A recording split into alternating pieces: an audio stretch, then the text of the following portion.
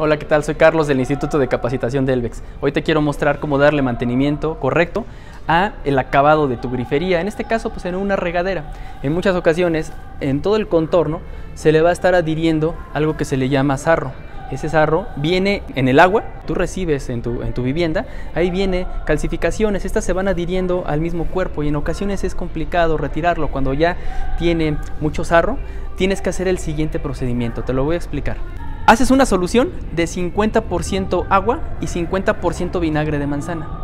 ¿Sale? No le vayas a poner más ni menos, eso es una, eh, una acidez adecuada para poderle dar el mantenimiento al acabado. Lo puedes retirar, quizá puedes retirar entonces el, el cuerpo de la, de la regadera y en esa solución que te acabo de mencionar, cuando ya tiene esa, esas calcificaciones muy adheridas, entonces vas a sumergir la regadera en esa solución.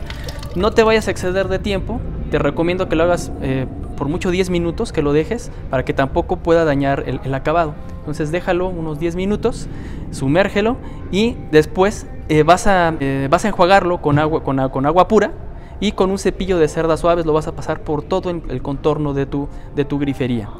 Eso es más que suficiente y verás que vas a tener resultados muy buenos ya que la grifería va a tener, va a recuperar el brillo que tenía como si estuviera nueva. Entonces, realízalo, haz la prueba y vas a ver cómo sí funciona. Pero con las proporciones y con el tiempo, no te vayas a exceder porque si igual eh, se podría dañar el acabado.